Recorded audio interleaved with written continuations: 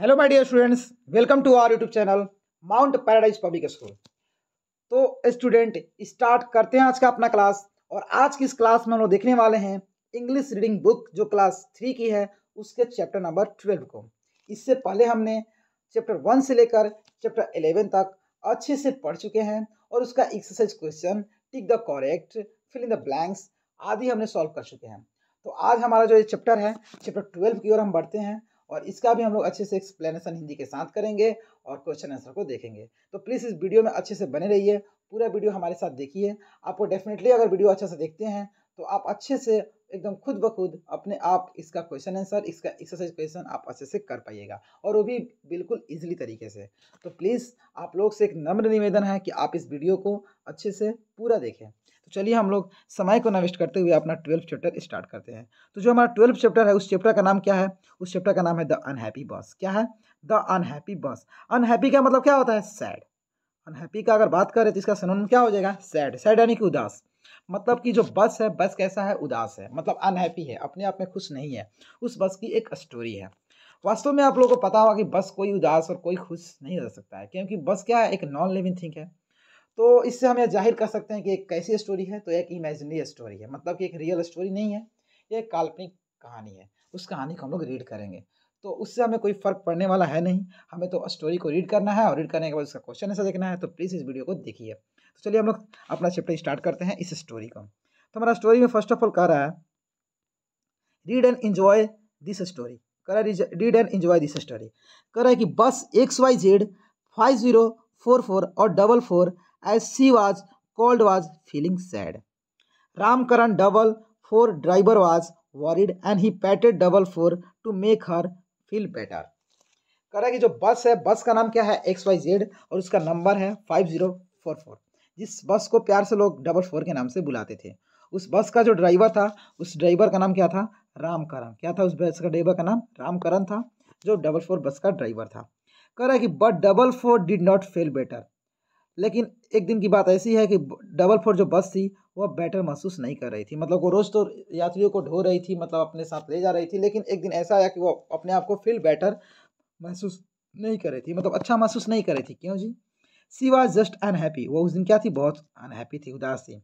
As sameness of everything मतलब क्या कारण थे? वो बता था सेमनेस ऑफ़ एवरीथिंग रोज़ की उसकी क्या काम था? तो सेम रोड एक ही रोड पे चलना। Same places and same people मतलब कि उसका डेली रूटीन क्या था कि एक ही रोड पे चलेगी, एक ही स्थान पे वो रुकेगी और एक जहाँ और जो लोग बैठेंगे वही लोग उसके रास, वही लोग उसके उसके बस में बैठेंगे जो डेली बैठते थे। तो उस वजह से वो बस क्या थी? वो क्या थी? मतलब अपने आप में ना खुश थी अनहैप्पी थी। Even before she reached her bus stop double four knew many of the people who huffed and puffed she और puffed she boarded the bus She knew to the thin old man to sleep all the way, double for to knew the three old girls who always sat beside each other. मतलब उसका रोज काम क्या था? उसका रोज काम यही था कि एक भागती हुई औरत आएगी हफ़्ते हाँपते और उसके बस को रुकाएगी और उसमें बैठ जाएगी। देन उसके पास एक ओल्ड मैन आएगा और ओल्ड मैन जो आएगा वो क्या करेगा? पूरे बस में बैठेगा और बस में पूरे बस चलने के दौरान वो सोता रहेगा। देन उसके बाद कौन बैठेगा? तो स्कूल की तीन लड़कियाँ बैठेंगी और बैठकर अपने साथ एक दूसरे से क्या करेंगी? बातें करेंगी। तो ये मतलब उसके रोज़ का डेली रूटीन था कि बस में ऐसे ऐसे लोग बैठेंगे ऐसी ऐसी चीज़ें करेंगे और ऐसे जगह पे बस रुकेगी और इस र, इस रोड से बस गुजरेगी। तो यही बस का मतलब डेली का रूटीन था। तो इस वजह से बस क्या था? अपने आप में नाखुश था। मतलब कि उसको लग रहा था कि मुझे क्या है? मैं केवल यही करता रहता हूँ मुझे और मतलब लोगों से मिलना है और नई जगहों पे देखना है। इस वजह से वो पूरा क्या था? अपने आप में उदास था। चलिए हम लोग इस स्टोरी को आगे की ओर पढ़ते हैं। क्या कहता है? फिर उसके बाद कह रहा है आई नीड अ चेंज वो कह रहा है कि मुझे चेंज की ज़रूरत है। डबल फोर किसको? डबल फोर बस को। सैड टू हिमसेल्फ किससे कर रहा है? अपने से। आई सी रेसेड द नाइट वो बोला कि मैं अब रात को रेस्ट करूँगा and I want to seen a new place और मैं नई जगह कल अगर मैं कल नई जगह जाना चाहता हूँ, देखना चाहता हूँ। पैलेस दैट आर डिफरेंट वह ऐसी जगह हो जो पैलेस डिफरेंट हो। मतलब कि एक जगह इससे मतलब अलग हो। टू आई सल रन अवे और जब मैं कल सुबह रन अवे हो जाऊँगा मतलब फिर से रोड पे मतलब चलना शुरू कर दूँगा, दौड़ना शुरू कर दूँगा। तो मुझे घिसी पिटी पहले वाली रोड सड़कें पहले वाले जगह, स्थान और पहले वाले लोग नहीं चाहिए। मुझे कुछ डिफरेंट चाहिए टू मैरो कुछ अलग चाहिए देखने के लिए, ताकि मैं अपना मतलब क्या कर सकूँ, मैं अपना माइंड को फील को बेटर कर सकूँ। तो वही वो सोच रहा है रात में रेस्ट करते समय। देन उसके बाद नेक्स्ट मॉर्निंग में क्या होता है? नेक्स्ट मॉर्निंग में होता है the next morning the next morning as soon as a depot gates open double four quickly run out before anyone could stop her जैसी अगली सुबह होती है, जो बस कहाँ लगती है? बस लगती है डेपो में। तो डेपो गेट का, डेपो का गेट खुल जाता है, बस डिपो का गेट खुल जाता है। खुलने के बाद डबल फोर जो बस होती है, वो क्विकली रन अवे मतलब भाग जाती है बिना रुके हुए। Double four took a new road जो डबल फोर बस है और टी का टू का न्यू रोड वो नए रोड पे चल जाती है। सी सोवा न्यू पैलेस वो नई जगह देखती है। She went to the sea beside और वह कहाँ चली जाती है? सी साइड मतलब कि समुद्र किनारे। She saw people wading in the water and sleepy camel on the sand double four sand double four spend on to the plaza cinema hall she also saw a church अब वो नई जगह पे जाती है तो क्या क्या देखती है? तो देखती है कि कुछ लोग होते हैं जो पानी में नहा रहे होते हैं। कुछ स्लीपी जो कैमल होते हैं जो वो भी मज़े कर रहे होते हैं सैंड से।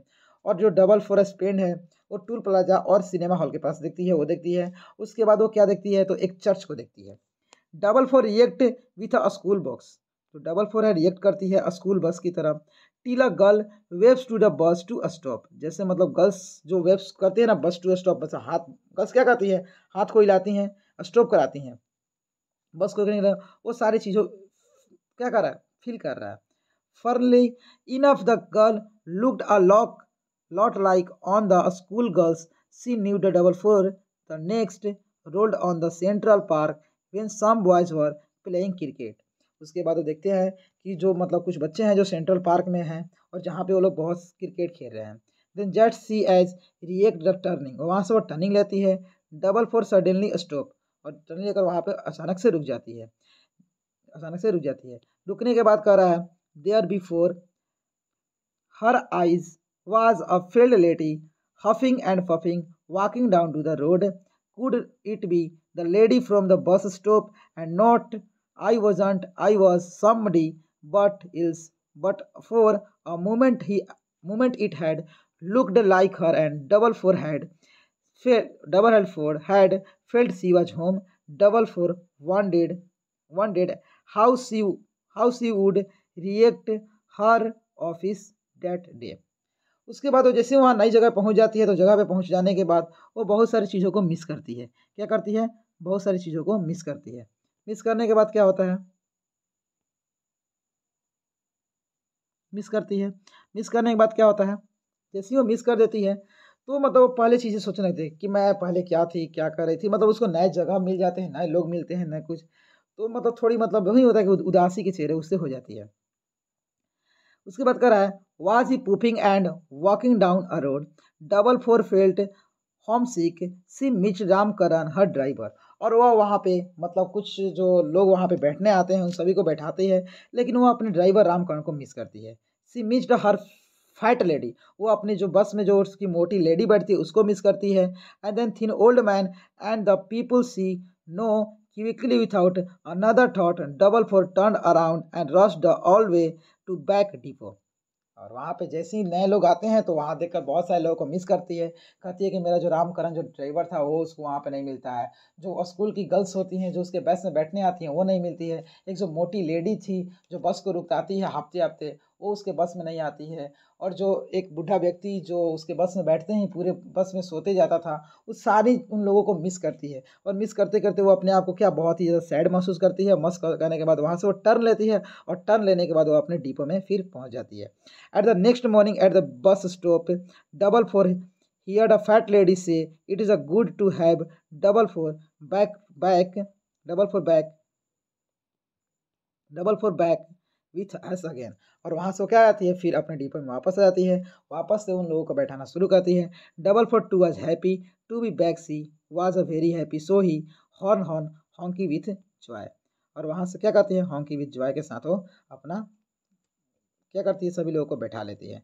तो मतलब और वहाँ पे धीरे धीरे फिर हैप्पी हो जाती है। तो मतलब कहने का मतलब है कि जो वो तो पहले नाखुश थी, नाखुश होने के बाद वो सोची कि मैं नई जगहों पे जाऊँगी, नए लोगों को मिलूँगी। नए चीज़ें देखूँगी। लेकिन वहाँ पे जाने के बाद अपने पुराने मित्र, पुराने फ्रेंड्स पुराने सभी लोगों को इतना मिस करती है कि वहाँ उसे मन नहीं लगता है और फिर आ जाती है अपने घर वापस और वापस आकर वही अपना फिर से चलना शुरू कर देती है। और इस प्रकार जैसे ही घर आती है ना अपने लोगों से मिलती है तो क्या हो जाती है? फिर से वो खुश हो जाती है। तो ये हमारा ओवरऑल स्टोरी था। आई होप आपको ये स्टोरी अच्छी लगी होगी तो प्लीज़ इस स्टोरी को लाइक कर दीजिएगा। कमेंट एक अच्छा सा कमेंट कर दीजिएगा ताकि हमें अपने, हमें और मोटिवेशन मिले नई वीडियो बनाने के लिए। तब तक के लिए आप सभी को वीडियो फॉलोज करने के लिए थैंक यू मिलते हैं नेक्स्ट वीडियो में नेक्स्ट टॉपिक के साथ। Bye bye take care